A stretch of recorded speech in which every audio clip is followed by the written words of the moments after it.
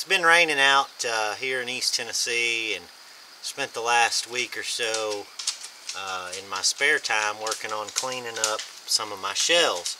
Um, so I thought I would share with you guys uh, the whole process of how I'm doing that and how we could take a shell that looks like this and convert it over to a shell that looks like this that's been fully cleaned and preserved. So um, I'm going to go ahead and start through on the process, um, do as, as much explanation as I can.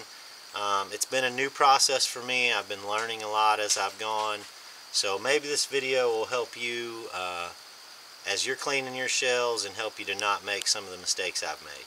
So uh, let's get right into it. Um, I want to emphasize here at the beginning of the video that while I will be moving through each process that I'm using to clean the shells and we may learn some stuff along the way, uh, this is not meant to be a how-to video. This is more of a documentation of the processes that I'm using to get my shells cleaned.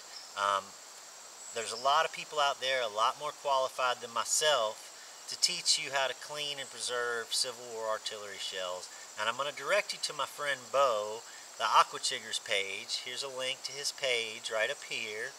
And go to his page and subscribe, like his videos. He's got hundreds of videos on metal detecting in the water, metal detecting on land, and pertinent to this discussion uh, on cleaning and preserving artillery shells. Um, I also want to emphasize really quickly that the, the artillery shells that I will be working on today have been professionally disarmed. Um, they are completely inert. Um, they've been diffused, so they're completely safe. Um, you need to make sure that your artillery shells are completely safe before you attempt any of these processes uh, on these shells. So know what you have, make sure it's safe before you ever attempt any of this. Okay, the first thing I wanted to point out is that not all the shells that you find are going to look like this. Um, this one was in the bottom of the creek, it was very concretized with rocks. And it, actually I wanted to keep this shell just like this because I liked the way it looked, but in the name of preservation and education, I will clean this one up. But a lot of the shells you're going to find might look like this, um, a little bit less surface rust, or a little bit less uh, stuff stuck to it rather and some might look like this. This has like a almost like concrete on the outside of it and it's completely full of rocks. So this one's going to be quite a job um, getting all the rocks out of there. And so is this one really. It's got quite a few rocks in there. So anyway um, I'll probably start with this shell. Um, this one's about the worst shape and we'll work through the process on this one and possibly uh, look at some of the processes on these. So, all right, here we go. Okay, the first thing we're going to do is knock off most of this rock. Um, when you're hitting this with a hammer, we're going to use a hammer to do this. Um, you want to be gentle. These, I know it's a shell, it's iron. They can break. Um, I broke a base cup when I was cleaning one, hammering on it. Um, so I only recommend this hammer if you have big kind of rocks like this. And we're just going to do it lightly for now. And we'll let electrolysis do most of the work. But I did want to share this knocking the, the skin off with you because oftentimes it'll come off in a big clump. So let's go ahead and get to work on this. Um, and if you get down to finer stuff, I switch over to this wooden mallet, kitchen mallet, um, so that I know I'm not going to do damage. So, all right, here we go.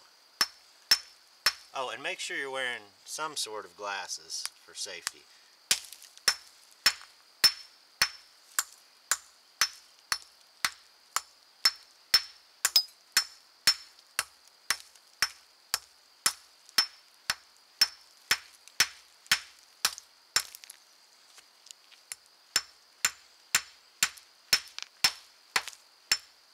Kind of a nice chunk come off there.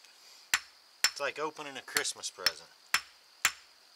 It Could be nice and smooth under here. I suspect it'll be pretty pitted. Although that's looking pretty good right there. And like I say, just nice and slow. You don't want to get in any kind of rush cleaning shells. It's real easy to go too far. Um, can always go back and do more to it later, but it's, it's super easy to go too far. Once you've done that, it's hard to come, well, it's impossible to come back. So, And I'm just working on this bigger stuff. Like I said, let electrolysis get most of it. And that way we don't do any unnecessary damage.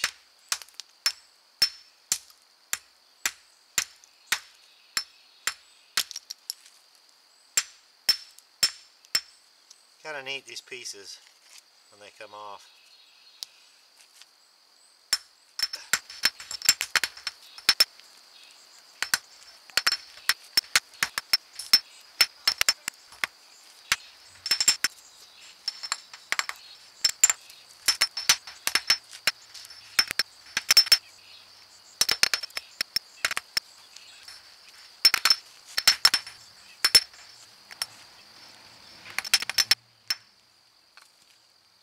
Alright, that's about as far as I'm going to go on that one for right now. Um, I'm going to try and let electrolysis do some of this work for me now so uh, that I don't compromise the skin of this shell. As you can see, that's that's actually a lot smoother than I would have anticipated um, underneath of all those rocks. So I'm going to take my time with this one, let electrolysis do the rest of that work. And uh, we'll go ahead and set it in there and we'll check in on it as it progresses. Uh, into my electrolysis bath. As you can see I've got a big railroad plate here um, and my shell is sitting down in there cooking away. You're going to want to see a lot of bubbles like that and if you're not seeing a lot of bubbles like that probably don't have a good enough connection. Um, there's plenty of videos on how to do electrolysis um, so look one of those up. The big thing is we've got a car battery charger, manual car battery charger. We've got the positive lead hooked to a sacrificial piece of iron. And we have the shell down here on the negative side and it is cooking the rust off. So that's probably going to sit in there a solid day or maybe a little longer. And we'll take a look back in on it and see how the rust removal is going.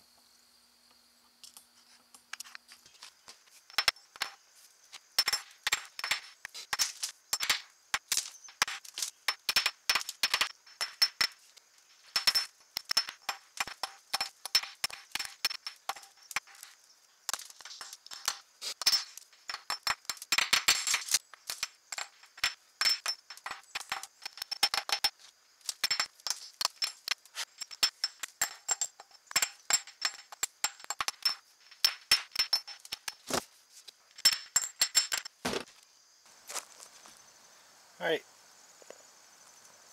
Okay, it's uh, shell's been cooking for quite a while. Most of the rust has come off. I'm gonna take the hammer, get the last little bits of this that I can off with it, and uh, it's getting close though. This thing's real close.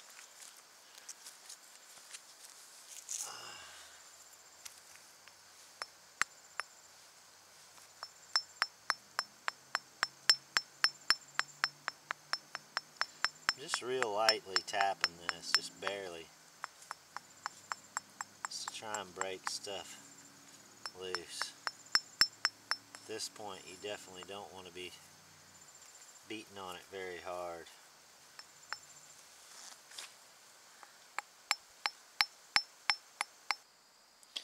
Real quick, I wanted to show you I'm working in this groove here. Um, it's slow and delicate work. Uh, and again, I don't know, you know, this isn't necessarily the right way to do it, but it's the way I'm doing it. Um, so I'll show you what I'm doing. I've got a, a flat bladed screwdriver and it's a pretty wide one so it's not doing it you know it's not really like a gouging type thing but uh, and I'm just getting in here and working this little by little like I said, it's really kind of slow and steady work. But it's cleaning it up pretty good in this crack. So I'm going to try and work my way all the way around. I don't know if I'm going to get there. We'll see. But I figured I'd show you how I was trying to clean that groove out on this shell in particular. This is new. Some of them have, you know, it's popped right out. I give it a little whack, it pops right out. But this one's been pretty stubborn, I think because of all the rocks that were encrusted on it. So, But the shell's coming out pretty good all in all. And uh, yeah, I'm going to keep at it.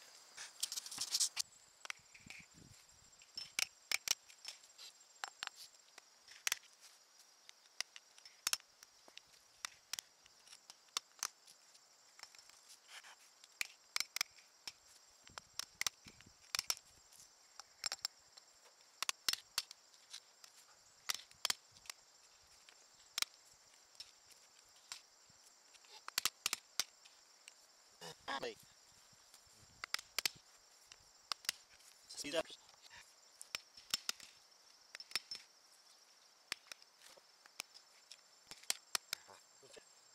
Yeah,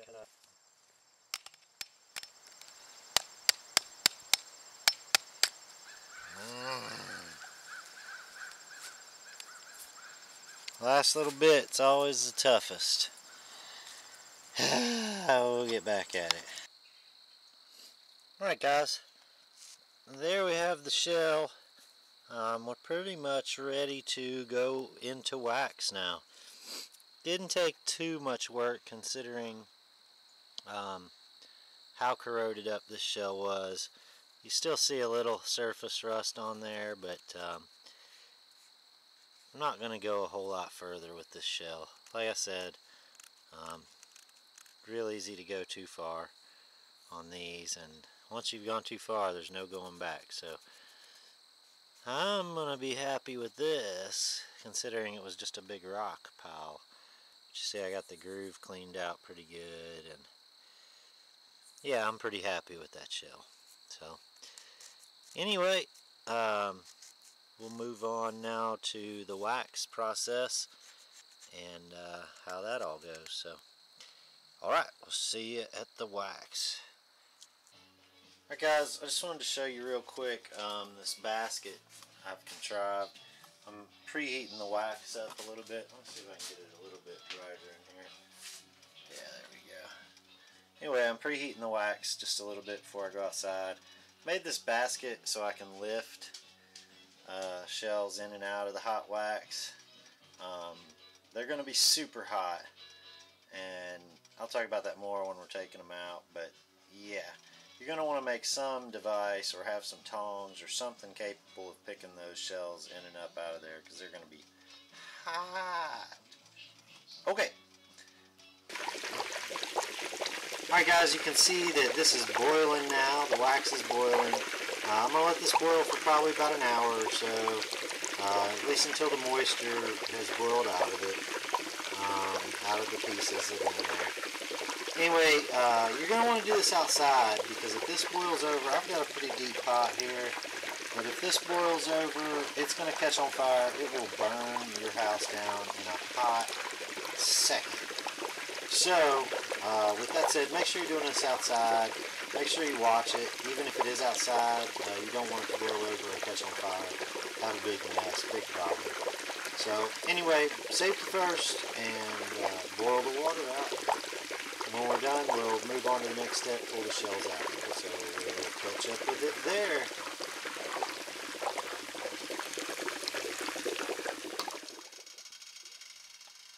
Okay guys, I know it's uh, hard to see, but the moisture has quit boiling out of these shells. So I'm going to go ahead and take them off the heat and uh, show you what I have to do with them then.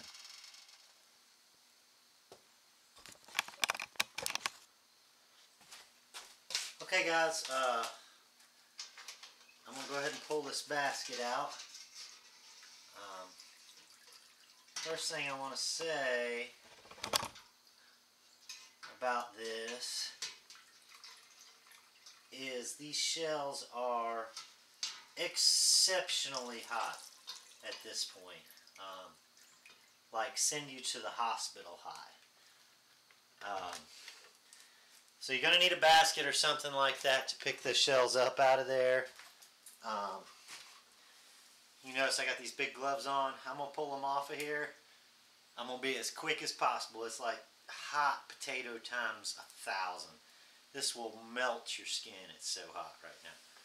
So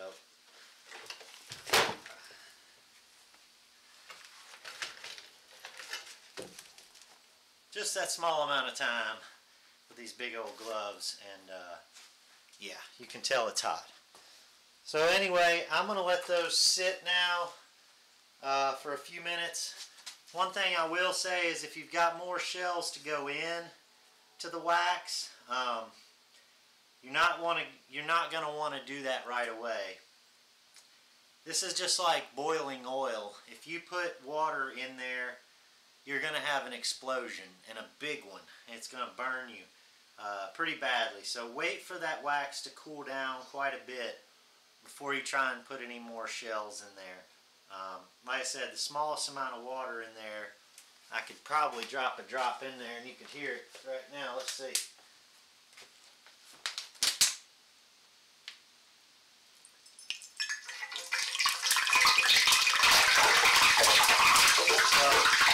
as you can see, if I put, that was two little tiny drops of water. If you dropped a wet shell in there, you would have a massive explosion. So keep that in mind, guys. Okay, uh, now we'll move on here in a few minutes to the next couple steps. And these shells will stay hot, by the way, now for like five hours. They're going to stay too hot to handle.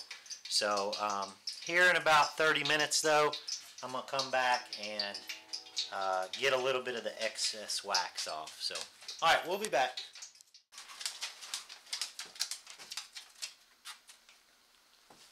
Okay, the shells have been cooling off for about five minutes.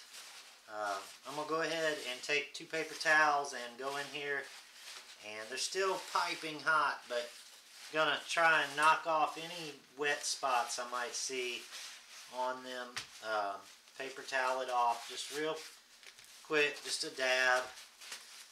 And that's going to keep anything from having big ugly uh, wax spots on it.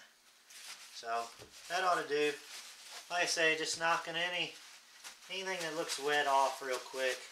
And uh, then we're going to leave that wax to just set up and I'll come back to them in four or five hours here and we'll do the last step on these shells so. Okay guys uh, here's the last step in the process. Um, I'm gonna take this brush and go over this shell real quick and brush. And that'll rub the wax in and keep you from having a uh, kind of dull white coat on there. So looking at this shell, I don't, I, I don't know. I might go back and work on this shell a little more, but it's hard to say. It'll do for now. At least I've got uh, it most of the way cleaned up, and uh, it'll help preserve it. Here's the shell we started with. Go ahead and brush it up.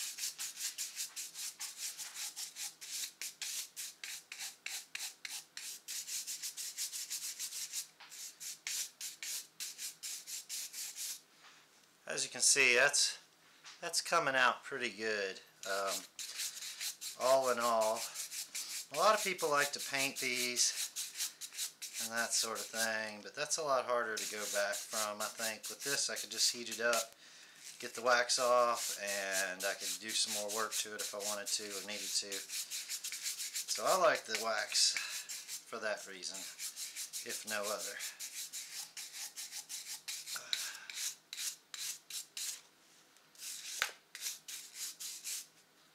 Anyway, that should about do it. This shell is done. there you go. One uh, preserved Civil War shell, start to finish. Hope this video helped you guys out. Um, maybe learned something. I know I've been learning something going through and doing these processes, so uh, hope you enjoyed the video. Subscribe if you did, and hopefully we'll have a bunch more of these to preserve next season.